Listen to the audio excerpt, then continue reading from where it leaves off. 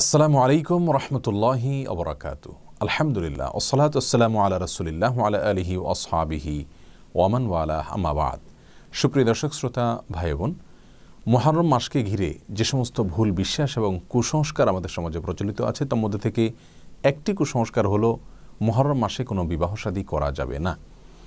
অথচ মহরম মাসে কোনো বিবাহ শাদী করা যাবে না, এরকম কোনো কথা কোরআন অথবা হাদিসের কোথাও আমরা পাইনি। মূলত মহরম মাসটি সম্মানিত মাসসমূহের মধ্যে থেকে একটি মাস। আল্লাহ রব্বুল আলমিন কোরআনে করিমে বছরের বারো মাসের মধ্যে থেকে যে চারটি মাসকে বিশেষ মর্যাদাপূর্ণ মাস ঘোষণা করেছেন, তার মধ্যে থেকে একটি মাস হলো মহরম মাস। সম্মানিত মাস হিসেবে এ মাসে অন্য যে কোনো ভালো কাজ, সাধারণ ভালো কাজগুলো বেশি থেকে বেশি করে আমাদের করা উচিত, যেহেতু আল্লাহ রব্বুল আলমিন এই মাসকে সম্মান দিয়েছেন। বিবাহ শাদী করা এটাও একটি ভালো কাজ, যার কারণে এটি এ মাসে করা যেতেই পারে। যেহেতু একটি সম্মানিত মাস সম্মানিত মাসে একটি ভালো কাজ হতেই পারে। যে ভুল বিশ্বাস থেকে এই কুসংস্কারটি আমাদের সমাজে প্রচলিত হয়েছে, তা হলো মনে করা হয় মহরম মাস একটি অপয়া মাস।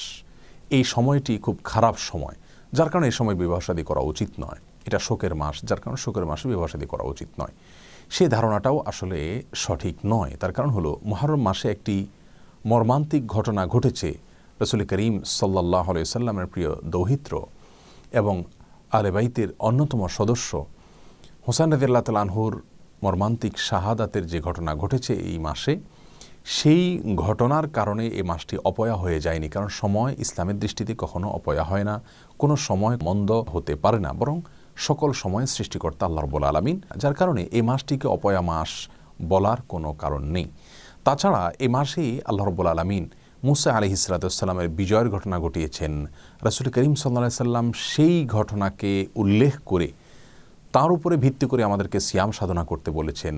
মুসা আলি ইসরাতামের বিজয়, তার মুক্তি মানে ইসরায়েলের মুক্তির বিষয়টা এখানে আলি ইসরাতাম ভালোভাবে, ইতিবাচকভাবে দেখে তার জন্য সুক্রিয়া আদায় করেছেন এ মাসে। যার কারণে এটিকে অপয়া মাস হিসেবে আখ্যায়িত করা সম্পূর্ণ ভুল একটি বিশ্বাস। আমাদেরকে ভুল বিশ্বাস থেকে সরে আসতে হবে। অন্য সময় যেরকম বিবাহ সাদী করাতে কোনো অসুবিধা নেই মহরম মাসে অথবা বছরের অন্য এমন কোনো মাস বা সময় নেই যে সময়টাতে বিবাহ সাদী করার ব্যাপারে ইসলাম শরীয়তের কোনো প্রকার বিধিনিষেধ আরোপ করা আছে। আল্লাহ তালা আমাদেরকে সমস্ত কুসংস্কার থেকে বেঁচে থাকার তৌফিক দান করুন, ভুল বিশ্বাসগুলোকে সংশোধন করার তৌফিক দান করুন। আসসালামু আলাইকুম রহমতুল্লাহ বরাকাতু